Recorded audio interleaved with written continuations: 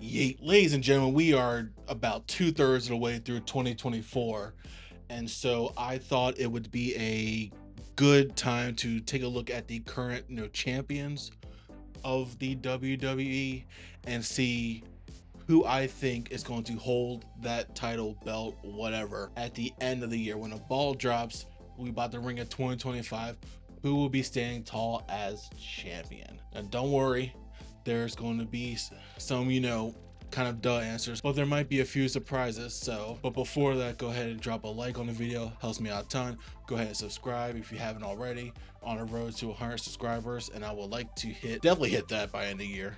You know, by 2025 when the ball, maybe get to 200. Who knows? It's all up to you. So, but if you do, thank you so much. If you're already subscribed, appreciate you. But uh, without further ado, let's get into the video. And I'm gonna be grouping these by uh, uh, uh by show. So we're gonna do NXT Raw and then SmackDown, and after that in order, it's just whatever title came to mind. So with that, let's get into NXT. Starting off at the NXT Heritage Cup, currently held by Charlie Dempsey of the No Quarter Catch Crew. I think they're still called that. And this one was kind of hard because kind of went left field. I could have gone uh, maybe Tony D'Angelo again, Charlie Dempsey to hold it till uh, end of the year. Noam Dar maybe come back and get it. But I'm going towards somebody from Chase U holding the title, holding the Heritage Cup at the end of the year. And so I went with, I could have gone Duke Hudson, almost did. But I think Riley Osborne is going to hold the uh, Heritage Cup at the end of the year. I think Chase U gets involved with the no quarter uh, once they're done with the tag titles and we see you know Riley Osborne step up and grab the Heritage Cup to close the year out. Moving over to the NXT Women's North America title, I do uh, the current champion is Kelani Jordan. I say when the year ends, we have Sol Ruca as the champion. Now she could move on to the NXT Women's title, but I don't. I think that might be fast tracking her a slight hair. So I think by end of year she does capture that title and go maybe goes on long reign for that. So but Ruca holds the title heading into 2025. The NXT Women's Champion currently Roxanne Perez, and I was very le- much leaning towards her just holding it to close the year out. But I do think that one of the big names coming through, either uh, a Julia or a Stephanie Vaquer, one of them holds it. I'm leaning towards Stephanie at the moment, just because of the AEW thing exposure that she was wrestling Sasha Banks, Mercedes Moné, and so they're going to kind of lean on that. Uh, and more people may have the, the name uh, still in their brains, like the casual American fans. So they're going to lean that way. But either one, Julia or Stephanie Vaquer, either one could hold it, and it you know makes perfect sense. Right now, I'm going Stephanie. All right, the NXT Tag Team titles currently held by Chase U and left field shot. Give me Hank and Tank to hold the titles at the end of the year. I do think them getting prominent spots on like the backstage spot uh spots and I think, I think it's a commercial recently or something like that back uh management sees something in them they're funny they're likable and I think they get rewarded in a year you know once Chase U's done with the tag title uh and assume Nate uh Frazer Axiom don't stay unless a tag team's coming in like rumors have it certain uh certain you know a certain tag team from Michigan's coming through. But uh, unless that happens, I think if it's any homegrown talent, Hank and Tank, like, like I said, they're funny, they're likable, and it could be some great TV if they're champs. So I'll go with them. North um, NXT North America title held by Oba Femi. I guess another one where I easily could see Oba holding it honestly until next year stay and deliver something like that. But damn it, I'm going to keep beating this drum until it happens. Reward the king. I am calling for Lexis King to get that title before the year is out. By hook, by crook, cheating, being slimy, dirtbag that he is, he will be NXT North America champion when 2025 rolls around. And last but not least, in NXT, I have the NXT uh, champion currently is Ethan Page. This one, I think, all signs are pointing to Trick Williams at the end of the year getting back his title. Once Trick is back, you know, with done with Pete, once Ethan's done with Joe Hendry and maybe another challenger, they might delay that. I think when NXT goes to CW and, and was this like September, October, they'll revisit that program. They want that to be the big program for the new network. Makes sense. Trick is their most over superstar. And sometime between now and when the ball drops, Trick Williams gets his title back and carries it into 2025. All right, moving on to Monday Night Raw.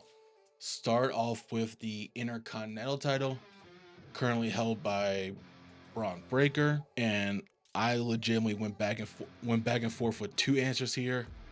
Is either Bron Breakker holds it till the end of the year and leads into Rumble or Mania with it, or this superstar finds a way to uh, earn a title. And you know what? Let's take a shot. I'm, I'm saying that when 2025 rolls around, your Intercontinental Champion will be Dominic Mysterio. I think he, with Liv and the new Judgment Day, either through this tournament coming up or some other way, maybe like a crown jewel or something. I think Dom finds a way to get a shot at the IC title, and Dom finds a way to win it. It's funny, Bron is in that Sami feud was the heel, but he's starting to get uh babyface cheers because people are liking what he's doing. I think WWE sees that they capitalize they capitalize on that and they pull the trigger. Uh, Bronco's full face, and what better way to go full face than against someone like Dom Mysterio who is uh, is not arguably he is the most hated person in the business right now. Like state like on screen hate, not like actual hated person in the business right now. So yeah, Dom Mysterio goes into 2025 your IC champ. All right, the World Tag Team titles currently held by Finn Balor and JD McDonagh of the Judgment Day. And you know, these titles have not been getting love recently. I do think that WWE puts more of an emphasis on the tag team scene close out the year.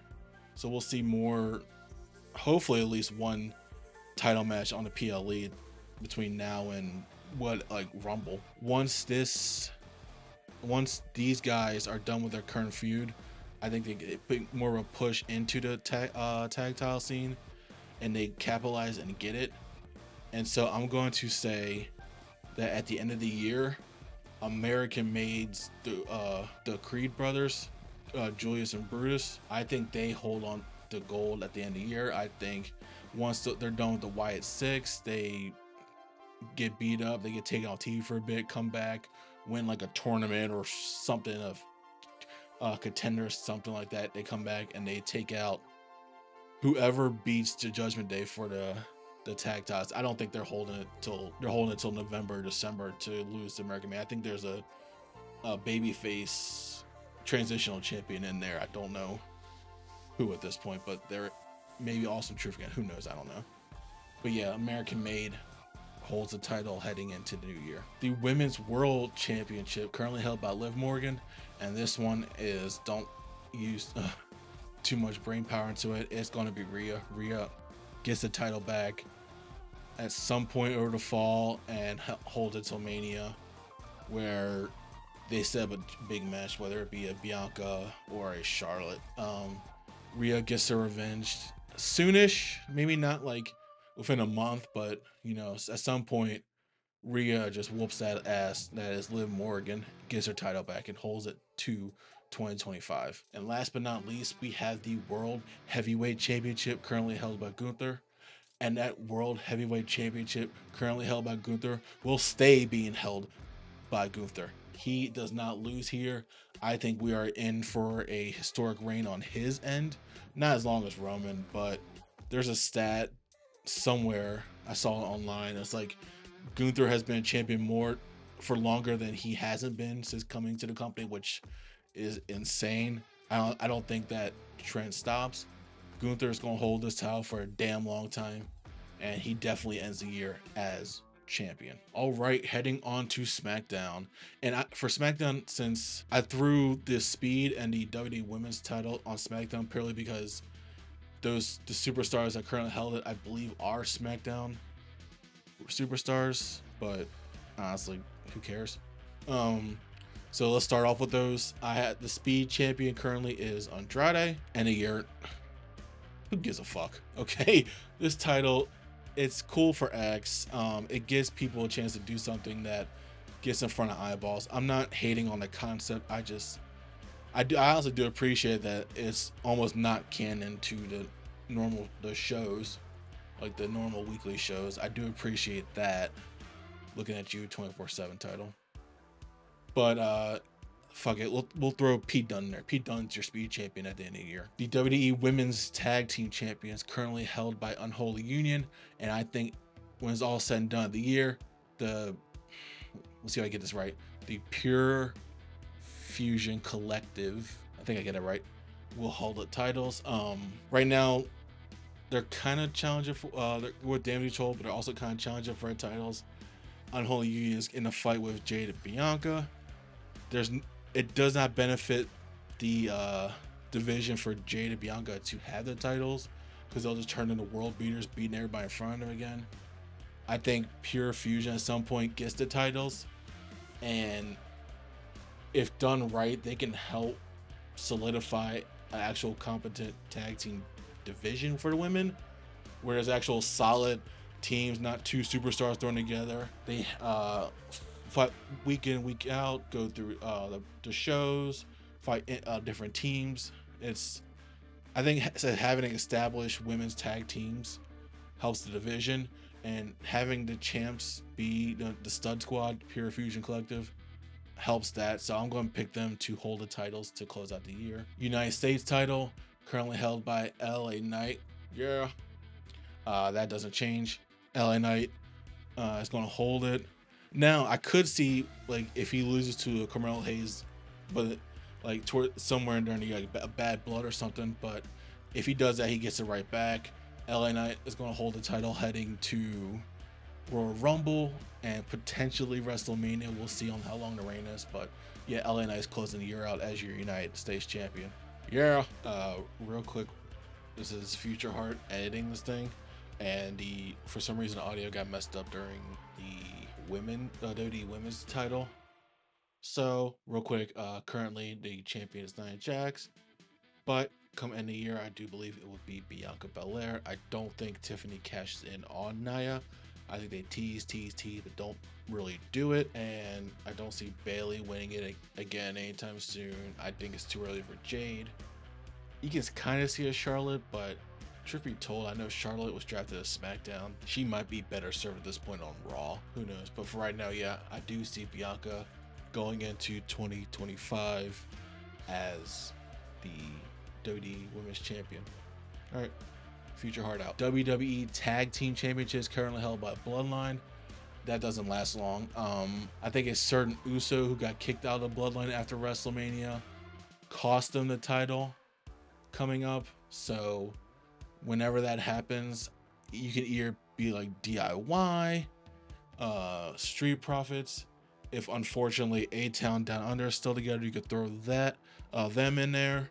But I'm going to pick DIY and you know, my wish would be that uh, that DIY takes the titles off of the bloodline, and you just let DIY and the Profits fight for a title to close the year out, and just match after match after match. Their number one contender match recently on SmackDown was absolute gold, and if you just let them fight and switch a title between each other for the rest of the year or next like several months leading into Rumble, you're not gonna get argument from people. It's just good ass wrestling. But yeah, DIY is to close the year out as champions. And last but not least for WWE, I guess, the WWE Championship, currently held by Cody Rhodes. There's a strong, uh, a strong like argument for him to hold the title uh, for the end of the year, go into WrestleMania and defend it. But Cody's always been a one uh, for the swerve. I do think that if Cody beats who's lined up in front of him for end of year out, you're gonna get some, some people already turning on them. They're idiots, but more people are gonna start turning on this reign. And the superstar that I think is gonna close the year out deserves it. And Cody can always fight them at WrestleMania and be a marquee match. And no, not Roman, not The Rock, but the the Viper, the Legend Killer. I think when 2025 rolls around, your WWE champion will be none other than Randy Orton. He climbs the mountains, he gets uh, closer to that record. I don't think he beats the world title record, but I think he gets closer. A heel Orton as WWE champion against the white meat babyface that is Cody Rhodes. Oh man, bad guy, good guy, alt basically ultimate betrayal, all that kind of stuff. It's going to be some good ass TV on Friday nights, coming soon to USA Network. I think like the 13th of September. But yeah, Randy Orton closes out the year as WWE champion. All right, that's going to do it for this video. Do you agree with my picks? Do you disagree? Let me know in the comments. Who do you think is going to close out the uh, the year as champions? Again, go ahead and like the video. Go ahead subscribe. We are shooting for a hundred, but I'll take a thousand subscribers for the year. But that's all I got for you guys. Uh, you can find me on at all socials at itsheartphelt. But for right now, I am just HeartPhelt. I'll catch you guys in the next one. Peace.